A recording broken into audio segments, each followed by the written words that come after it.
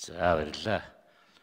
За прокурорын ажил бол мэдээж одоо бүх шатнд төрийн өмнөөс төрийн өмнөөс шүү дээ. Тэр бүлэг танилын нэр дэвшүүлж байгаа эсвэл баталсан томилсон байгууллагын өмнөөс өмнөөс биш хууль хуулийн хэрэгжилтэнд хяналт тавих хэрэгтэй.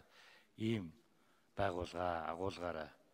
Тэгээ сая хоёр нэр дэвшигч хэн хэлж бай альман цэцэг прокурор хэлэх шиг боллоо.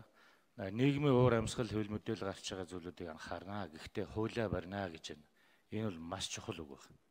Яг энэ үг яг одоо энэ онцгой үед онцгой чухал ач холбогдолтой болчиход байна. Яагаад тэгэхээр ер нь ийм юм их явж ирсэн. Тодорхой асуудлаар хэвлэлд, нийгэм, сошиал ертөнцид нэг баахан шууган үүсдэг, үүсгдэг зориуд.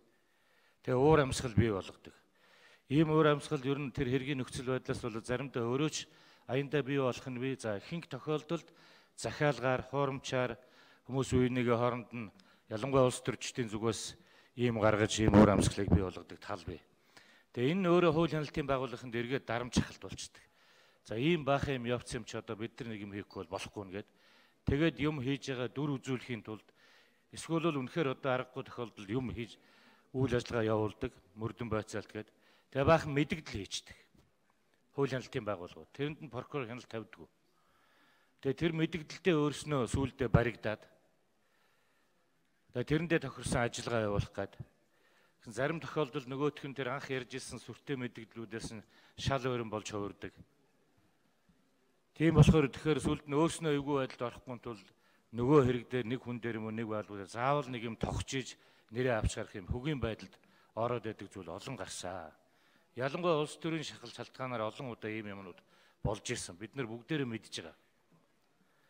Тэгээ хамгийн гол нь тэр хүний нэр хүн нэр төр ажил амьдрал хохироод үлдэхээс гадна ерөөсө хуулийн байгууллагуудад итгэх иргэдийн итгэл гэж юм алга болчихж байгаа байхгүй.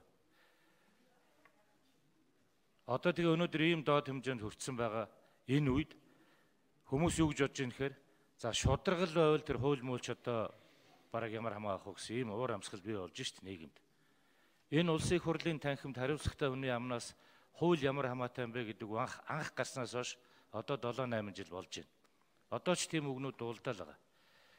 Тэр ийм нөхцөл уур амьсгалыг ачлаад энэ улс энэ нийгэм ирээдүй бидний үр хөвгтийн хөв заяаг бол ямар ч тийш нэргүүлж болох ийм нөхцөл байдал улс улс нийгэмд үүсчээд байгаа байхгүй.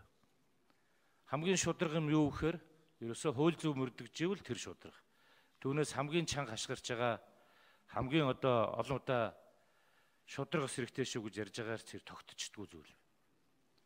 Хууль мөрдөгдөживэл сайн ч муу ч бай тэр л шударга зүйл. Энэ дээр л би их анхаарч ажиллаарай гэж шинээр төмлөж байгаа хууль хяналтын байгууллагуудад хэлэх гээд байгаамаа. Тэгэхээр зөвхөн одоо хуулийг зөв мөрдүүлэхээс гадна тодорхой хэмжээгээр улс орны нийгэм улс төрийн уур амьсгал төрд итгэх иргэдийн итгэл тэр итгэл дээр тулгуурласан Монгол төрийн тогтвортой аюулгүй байдлыг бэхжүүлэхэд бэхжүүлэх талаар бодолцож байх явдал бол энэ хууль хяналтын байгууллагуудад шинээр төмлөж байгаа хүмүүсийн яг өнөөгийн нөхцөлд хамгийн том үүргийн нэг тэр шүү. Мэдээж та нар одоо хуульчид юм чи хуулиар мөрдүүлэхийн төлөө ажил нь мөрдүүлж таарах байх гэж найдаж байна.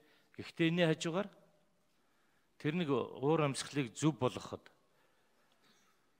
хууль ямар хамаатай юм бэ гэдгийг дороосоо эхлээд дээшээ хүртэл ярьдгүү болох тал дээр онцгой анхаарч ажиллаарай гэж захих гэдэг. Болдог шүү гэлнэ. 10 минут энэ дараа санал хураалт явагдах тул гişүүд чуулганы танхимд орж ирнэ. За баярлалаа.